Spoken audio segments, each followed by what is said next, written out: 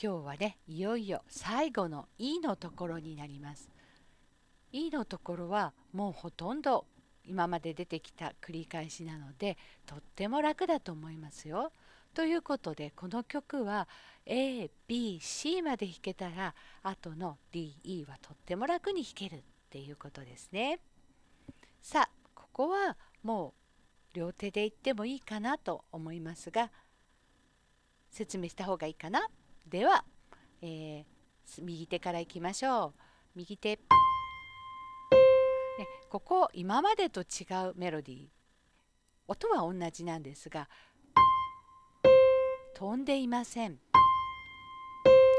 でもみんなは多分手が小さいと思うのでなるべく、ね、切れないように弾いてください。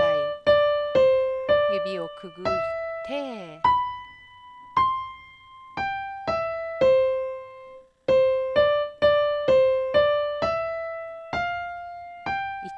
にちゃんと伸ばしますよ。また切らないで。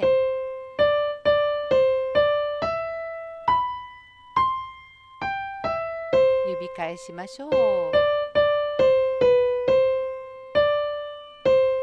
ょいってここもね上げましょう。終わり方はね結構スパッて切れる感じですよ。左手いってみましょう。 one two three four。